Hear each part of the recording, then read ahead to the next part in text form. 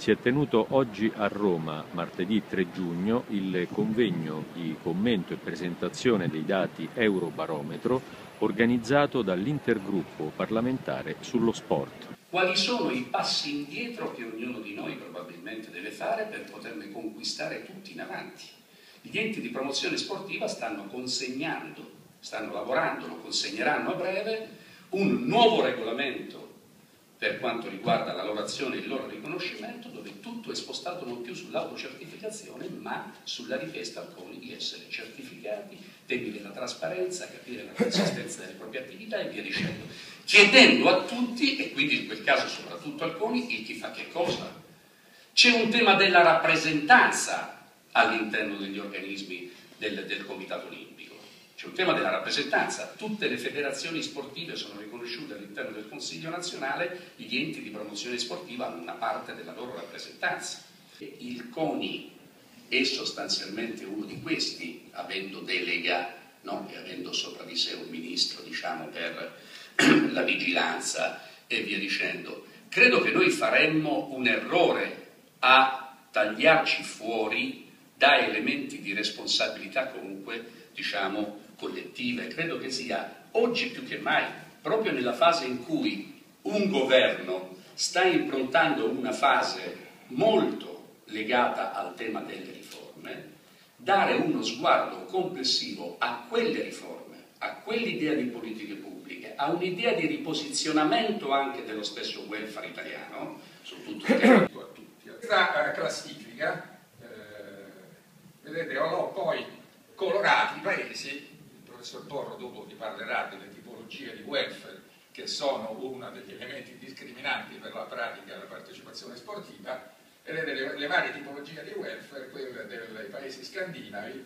quelle dei paesi dell'Europa centrale, dei paesi col welfare familiare meridionali e poi c'è questa galassia che non si riesce a spiegare dei paesi che vengono eh, dall'ex blocco comunista che sono a tutti i livelli, cioè stanno ai livelli peggiori, ma c'è la Slovenia per esempio che sta molto in alto in questa graduatoria.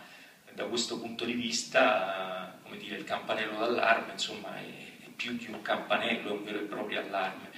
Ma ascoltiamo adesso... Le politiche sociali che tematizzano oppure no lo sport come diritto del cittadino hanno di gran lunga più influenza dei livelli di sviluppo o dei sistemi di regolazione politica del sistema sportivo. Ci sarebbe poi da soffermarci sulle differenze, le anomalie del caso italiano rispetto a quello europeo, l'ho fatto in maniera un po' eh, rapsodica, però mi fermo qui perché non voglio abusare la constatazione. Cosa decide lo Stato a proposito dello sport italiano? È importante? Non è importante? Questa è la scelta principale. Poi a valle possiamo anche discutere degli argomenti organizzativi. Col 7% del PIL sicuramente un modello più federale eh, saremmo tutti più contenti, penso al Presidente Luisp, sarebbe più contento di triplicare eh, giorno, tre volte e mezzo, di triplicare tre volte e mezzo da un giorno all'altro il proprio contributo che riceve di soldi pubblici, saremmo tutti contenti e con quello potremmo organizzare alla perfezione il nostro, il nostro sistema. Per costruire un testo unico della materia sportiva.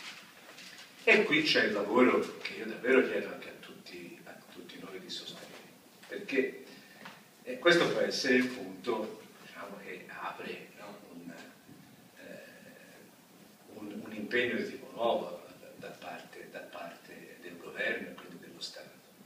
Bisogna vedere cosa ci vogliamo mettere in questa, in questa delega. Adesso nella legge ci sono 6 o 7 punti importanti, ma eh, sicuramente non, non, esaustivi, cioè il giorno che il governo davvero no, volesse costruire un testo unico è la grande occasione possiamo dargli con la delega compiti limitati.